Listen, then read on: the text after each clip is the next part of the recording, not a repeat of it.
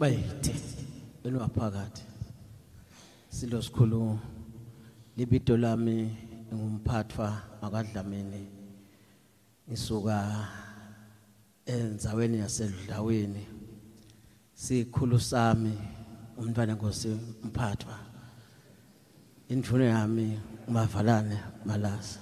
Wait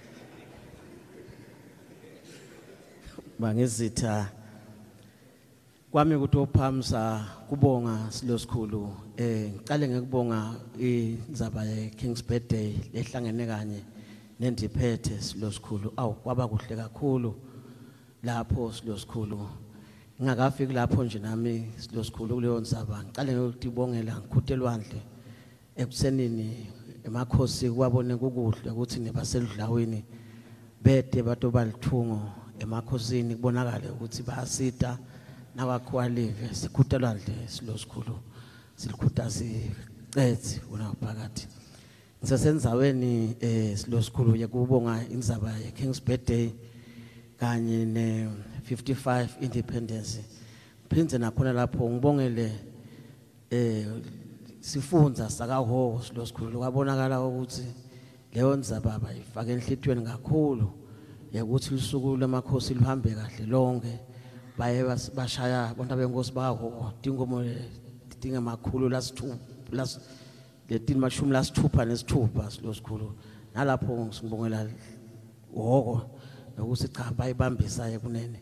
Ngibongele netivakashi tengonyama letafika dibena sekamanye emave awu kwabonakala ukuthi sisenhlitiyweni yabo nebangesheya ekhaya eTaiwan silosikhulu ngiphinze ngibonge silosikhulu umsebenzi eh baso sibaya lobe mhle kakhulu ngonyama.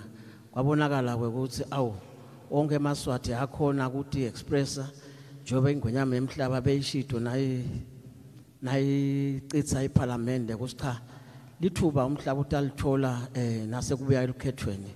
Kuhambe kahle kakhulu silosikhulu bakhuluma konke yaze yasho nekunene ukuthi awu lokhunye sibayenze ukudaba yipolicy silosikhulu ngale kwaloko bangezitha ngaphinze ngidumisele na prime minister nalapho sikhuthalwa silosikhulu ukuthi awu emakhosi abhudzile kwabonakala ukuthi ubhudzo emakhosi kusikhomba eh kulo wacishe babetintsanga tethu silosikhulu lokutawubonakala ukuthi ingabe njengoba sitambambisa siparlament nahulumende utabe akhona ukuthi sikhombise emakhosini ukuthi cha neyouth yakhona kulibamba live ibamba liqine eh siyethembisa silosikhulu kutaba ngilone kunye lonyaka.